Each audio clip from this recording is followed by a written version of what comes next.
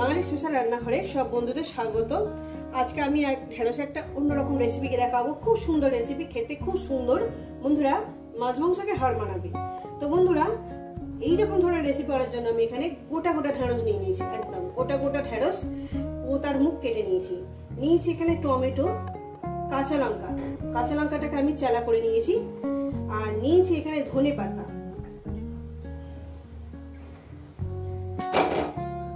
আর এখানে একটু গুছিয়ে নিয়েছি যাতে আপনাদের দেখতে সুবিধা হয়।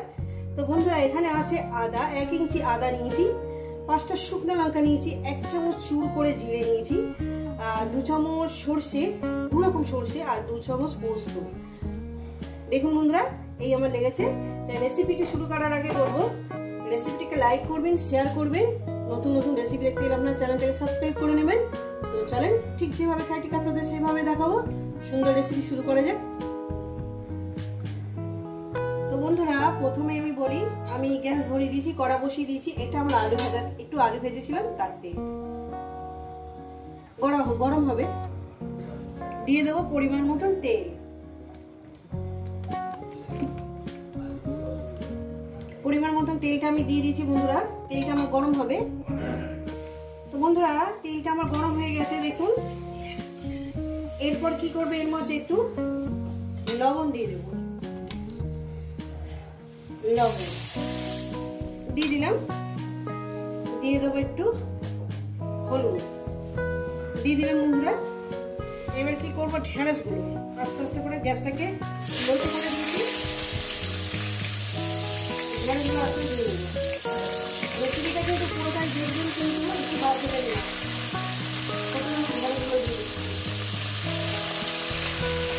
তো বন্ধুরা ঢেঁড়সগুলো সব দিয়ে দিয়েছি।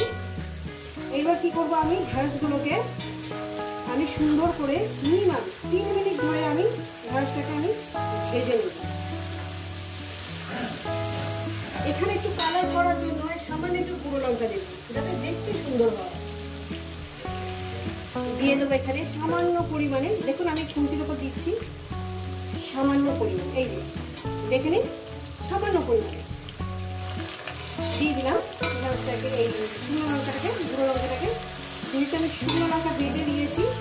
আর কাঁচা লঙ্কা চালা করা আছে, আর অত্যাধিক ঝাল দিলে আমার শরীরের পক্ষে ভালো নয়, এটাকে আমি তিন চার মিনিট ধরে ভেজে দেবো গ্যাস কিন্তু হাইতে দেবেন না, একটু লোতে করে দেবেন। তো বন্ধুরা দেখুন, আমি ঢেঁড়সটাকে কীভাবে ভেজে দিচ্ছি পোড়াবেন না, কোনো সবজি পোড়াবেন না। পোড়ালে কিন্তু তার টেস্ট আবার অন্যরকম হয়ে যাবে যেভাবে রান্না করছি, সেইভাবে রান্নাটা করবেন, দেখবেন। এমনি সুন্দর হয়ে যাবে। যে কোনো রেসিপি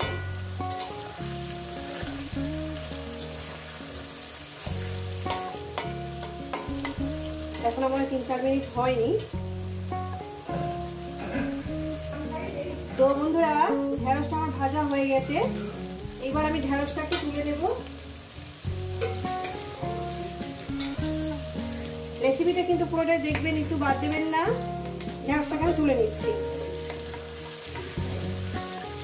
এইভাবেই ভাজবেন তো বন্ধুরা, একটা শুকনো লঙ্কা একটু ফাটিয়ে দিলাম। ঝালের কোনো প্রয়োজন নেই, একটু ফ্লেভারের জন্য। দিয়ে দেবো এখানে কালো জিরে। দিয়ে দিলাম। এবার একটু কয়েক সেকেন্ড ভেজে নেব। দেখতেই পাচ্ছেন আপনারা, কয়েক সেকেন্ড একটু ভেজে নেব। কয়েক সেকেন্ড ভেজে নিয়েছি। এরপর দিয়ে দেবো, আমি এখানে টমেটো। টমেটো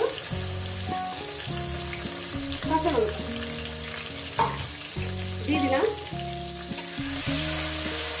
এটাকে আমি সুন্দর করে মিনিমাম এক মিনিট একটু ভেজে নেব, এক থেকে দেড় মিনিট।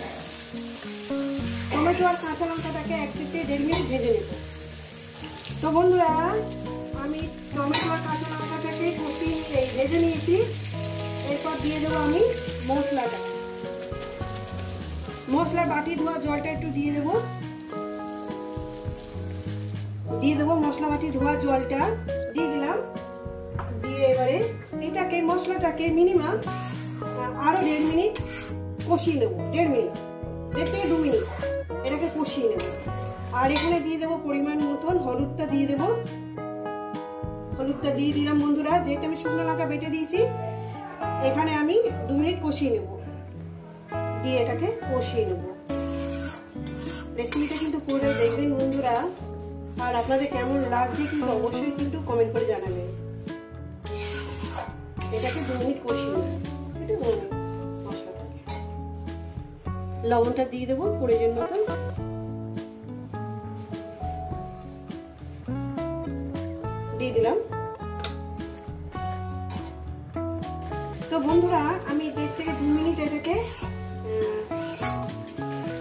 কষিয়ে নিয়েছি। এরপর দিয়ে দেবো ঢেঁড়স। ঢেঁড়সটাকে দিয়ে দিলাম। ঢেঁড়সটাকে দিয়ে আরও আমি দু মিনিট এটাকে রান্না করব। কেমন লাগছে বলুন তো? ভালো লাগবে না? এই ঢেঁড়সের রেসিপি দিয়ে আপনার খাওয়া হয়ে যাবে। এত সুন্দর হয়। দিয়ে দেব ধনে পাতা।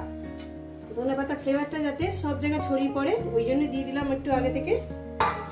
দিয়ে আমি এটাকে আরও দেড় থেকে দু মিনিট একটু করে, কষিয়ে নেব সঙ্গে সব কিছু আমার কমনে সিদ্ধ হয়ে গেছে, মশলা, মশলাও কষানো হয়ে গেছে।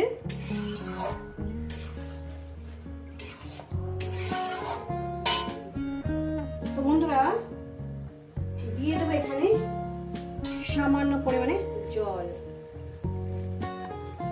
সামান্য পরিমাণে, একদম সামান্য পরিমাণে জল দিয়ে আরও এটা দু মিনিট রান্না করব, এটাকে আমি নামিয়ে দেব একদম ঝোল, কিছু হবে না, শুকনো শুকনো হবে না, ঝোলও হবে না, একটু রস রস থাকবে সেইভাবে জলটা দেবেন আপনারা। দিয়ে এটাকে দু মিনিট রান্না করব, তারপর এটাকে নামিয়ে দেখাচ্ছি। হয়ে গেছে। আমি এখানে কয়েক দানা, একটু চিনি দিয়ে দিলাম, একটু সুন্দর আর একটু টেস্ট হওয়ার জন্য। দেখিয়ে দিচ্ছি। কয়েক দানা। কয়েক দানা চিনি দিয়ে দিলাম। আর দু মিনিট রান্না করব। তো বন্ধুরা, আমার রেডি হয়ে গেছে। ঢেঁড়স দিয়ে সর্ষে পোস্ত বলতে পারেন। রেডি হয়ে গেছে তরকারিটা। তাই এটা আমি নামিয়ে দেখাচ্ছি। এই রেসিপি যদি আপনাদের ভালো লেগে থাকে, অবশ্যই কমেন্ট করে জানাবেন। রেসিপিটাকে লাইক করবেন শেয়ার করবেন। নতুন নতুন রেসিপি দেখতে গেলে আপনারা চ্যানেলটাকে সাবস্ক্রাইব করে নেবেন। বন্ধুরা, আবার নতুন কোনো রেসিপির সঙ্গে দেখা হচ্ছে। সবাই সুস্থ থাকবেন, ভালো থাকবেন, আর আমার নিত্য নতুন ভিডিও দেখবেন।